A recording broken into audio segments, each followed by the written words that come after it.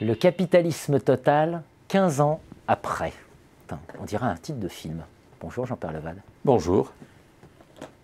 15 ans plus tard, un ouvrage prophétique, le capitalisme total. Hélas. hélas. Hélas. Je crois que euh, on voit bien que le capitalisme américain, où l'actionnaire a tous les pouvoirs et utilise l'entreprise pour s'enrichir, fondamentalement, sans autre objectif, a triomphé dans une large partie du monde occidentalisé, du monde développé.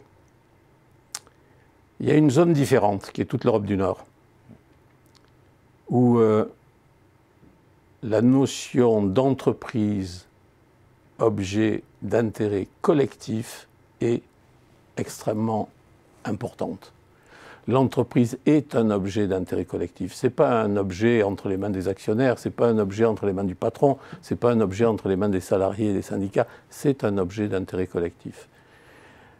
Le faire reconnaître l'entreprise comme telle, ça passe par euh, plusieurs choses.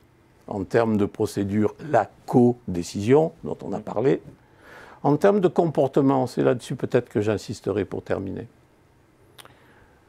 Le directeur général d'une entreprise néerlandaise ou scandinave, c'est un capitaine d'équipe de football qui se préoccupe d'abord du système de jeu de son équipe et de vérifier que tous les joueurs jouent la même partie dans le même sens et avec la même finalité.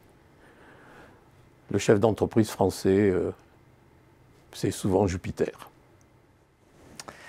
Pour discuter, débattre du capitalisme total 15 ans plus tard, Jean-Pierre Leval, je vous retrouverai pour une longue interview voilà, consacrée à ce thème. Merci de votre venue.